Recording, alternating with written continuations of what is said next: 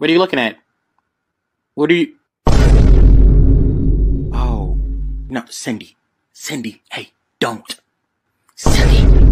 Hey, Cindy, stop pointing. No, don't walk over there. Cindy. Oh. How you doing, sweetie? How are you? What are you? Oh. um, just a normal person, you know, just like anybody else. Uh, I'm a human. Uh-uh. Humans have two arms. You don't. Cindy, come on. Cindy. well, you see, um, I lost my arm in uh, a real tragic accident. It was actually uh pretty bad. Are you an eel? Because eels don't have arms and you don't either. Why did you wear a long sleeve? Hey, high five.